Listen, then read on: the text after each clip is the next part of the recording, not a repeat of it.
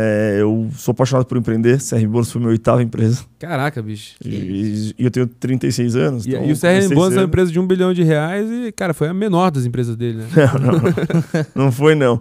É, a minha história é a seguinte, cara. Meus pais são de vestuário feminino. É, chama TVZ, uma empresa que tem 35 anos de mercado. E eu vivencio isso desde A que eu sou criança. TVZ é uma marca que tem no Brasil inteiro, não é? Tem. Eu já, já usei TVZ. Tem. Não, não usou que é feminino. É mesmo, cara. Eu tinha É. certeza que. Não. O- TNG, você deve ter TNG, usado. talvez tenha sido. Tá se entregando, TNG, tá se TNG. entregando. Então esse foi TNG. meu erro.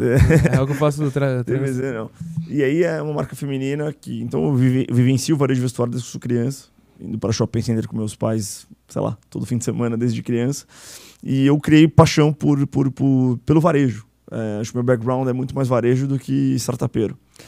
É, quando eu comecei a trabalhar, é, eu entrei na faculdade com 18, 17 para 18 anos. Que e que você na- fez, eu cara? fiz administração de empresas. Administração de empresas aqui na, na FAP. na E FAP. você era um bom aluno, mano? Cara, eu sempre fui um, um, um aluno que sempre tirou nota 7, 8, mas eu nunca estudei. Então, assim, eu de fato, sabe, eu estudava três É. minutos antes da prova, mas nunca fui um excepcional aluno, não. Mas desenrolava bem ali. né? É, é, fiz FAP, uma boa faculdade, nada espetacular, nada, tipo, não que eu não seja espetacular, mas longe de ser Tier 1, Stanford, Harvard. Cara, mas posso te falar, aqui. eu gostaria de ter estudado na FAP. Eu fiz Federal do Paraná, irmão. Só que eu não tenho um amigo da minha faculdade hoje em dia, tá ligado? Não, Eu- a FAP é- foi muito bom, eu sou muito, eu sou muito orgulhoso de ter estudado lá, inclusive fiz uma palestra lá recentemente, é uma faculdade que eu curto pra caramba.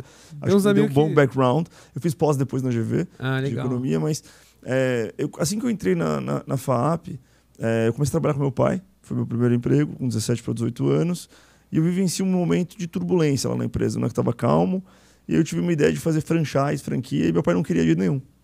É, Fazer falou, franquia "Cara, da empresa da. a empresa é uma confecção e tinha, na época, 40, 50 lojas próprias. Meu pai era contra fazer franquia.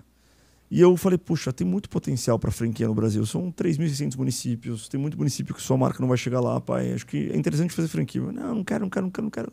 Isso em torno de 2005 a gente tá Isso- aqui nesse Isso momento. foi em torno de 2005, 2006, exatamente isso. E aí você, 2005. e, E aí eu você decidi- queria muito porque ele não tava conseguindo abrir loja na velocidade que Não gostaria. só porque isso, Tinha tem um, tinha um capex alto para abrir loja. Eu falei, puta, franquia é um negócio interessante.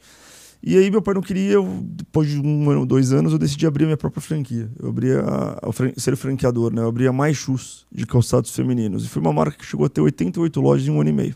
Que legal. E o franqueado, ele abria a loja e o fornecedor faturava direto o produto. Eu sempre me fascinei um pouco no mercado da Arezzo, da Corello na época. E ambos são meus clientes hoje na CR Bônus. Mas só voltando no tempo, é, eu decidi abrir o negócio de calçado feminino para fazer franchise e o negócio deu muito certo, cresceu muito rápido. E eu tinha, sei lá, 22 anos, 21 anos, moleque. É, puta sucesso. É, uma porrada de loja, Por que ganhando você dinheiro. escolheu tênis, cara? É, É feminino ainda. feminino, É sapato feminino. sapato feminino. E por que você escolheu Mais sapato feminino? assim, Cara, era um negócio que eu trabalhava. Não é que eu, putz, quero abrir sapato feminino. É um negócio que eu dominava, que estava lá no meu background do, do varejo vestuário. Tinha fornecedores que produzem hoje o polo calçadista do Brasil é muito forte no Sul. eh, vale do Sino, Sapiranga, Igrejinha. Eles, eles têm muito fábricas, muitos fabricantes que exportam muito calçado. E eu percebi que era possível fazer lá e começar a, a- sem muito capital intensivo, o fornecedor fatura direto para o franqueado e dá para fazer um negócio legal que o Brasil tem uma, uma distribuição interessante de calçado. E aí deu muito certo isso. Eu eu queria também entender um pouquinho mais assim, as primeiras franquias, cara, quem que comprava assim? Cara, eu abri a primeira loja própria no Shopping Ibirapuera, isso foi em 2009. né? É, Aqui perto, né? O Shopping Ibirapuera eu moro aqui do lado Foi no também. Shopping Ibirapuera e explodiu o negócio, deu muito certo. Fiz um belo de um layout, o negócio deu muito certo. E começou a ter franqueado, procurando, na TVZ que procurava, eu falava, olha, agora a gente tem o de calçado. Ah, legal. não quer abrir? Então tinha um background legal começou a abrir franquia, começou a dar certo. Tanto que no IPO da Arezzo Co., eles falaram que a MyShoes era um concorrente direto deles, achavam que a gente faturava 100 milhões por ano, a gente não faturava nem 20 nessa época. Que legal. É, a gente tinha uma imagem de ser uma coisa maior. É, de fato, a gente fez um barulho muito grande e eu, moleque, achei que eu era o, o empreendedor do, do, do universo, assim, meio que sou, sou o Steve Jobs do O brabo. empreendedorismo. É. Mas, cara, calçado nem é minha paixão, vamos abrir negócio. E comecei a abrir uma porrada de negócio. Mano, eu fiquei curioso também como é que ficou sua família aí. Começando a dar certo e tal, a galera Cara, deu pau, ficou feliz. deu pau. Meus pais sempre foram meus sócios, então, tipo, eles eram sócios da MyShoes. Inclusive, até no CRM Bônus eles têm uma participação. Mas eu, basicamente, é, é, o meu maior erro foi talvez eu tenha acertado muito cedo e achar que eu era o Steve Jobs. E ninguém é o Steve Jobs. Nem o Steve Jobs conseguiu ser CEO da Pixar e da Apple ao mesmo tempo.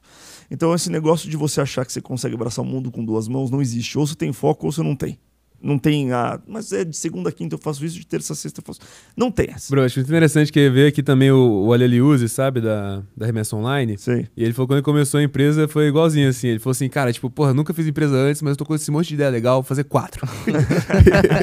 e aí, pô, a maioria deu errado. Ele falou, não, vou ficar aqui na remessa mesmo e concluiu exatamente. A falando com ele, coisa. mano, você é louco. E ele não tinha um aí- fundo, né? E aí, basicamente, é, o negócio deu muito certo durante um tempo e depois começou. Eu comecei a abrir um monte de outros negócios, abri academia de ginástica, abri aplicativo de cashback antes de chamélios, abri aplicativo de presente, abri de tudo um pouco, só que eu colocava o seed money, eu era o meu próprio VC e colocava alguém para ser CEO, pra, com 5, 10% para você e tá aqui o dinheiro, toca aí. É a fórmula do fracasso. Você achar que você vai colocar o dinheiro e o founder, que vai ser o CEO do negócio, que está iniciando um startup, vai ter 5%, 10%. Cara, isso é a fórmula do fracasso. Mas colocava bastante, pelo menos? ou- 100, 200 mil reais, nada expressivo, mas colocava um dinheiro interessante. E tudo errado, inclusive a MyShoes, que foi de 80 e poucos lojas para 3. Porque Caramba. os franqueados começaram a fechar, inferno na terra. E você perdeu o foco, você Perdi acha? totalmente o foco. Com sem falta, com falta de foco, você não vai chegar a lugar nenhum. Cara, eu prometi para minha empresa, para mim mesmo, que não ia abrir mais nada. Aí eu falei, cara, chega. Acabei vendendo a MyShoes para Arezzo Co. Caramba. Mas no momento de baixo, não no momento de alto. No momento de alto ele queria comprar, não quis vender, e no momento de baixo eu procurei ele para comprar, ele comprou. Hoje a marca tá com Arezzo.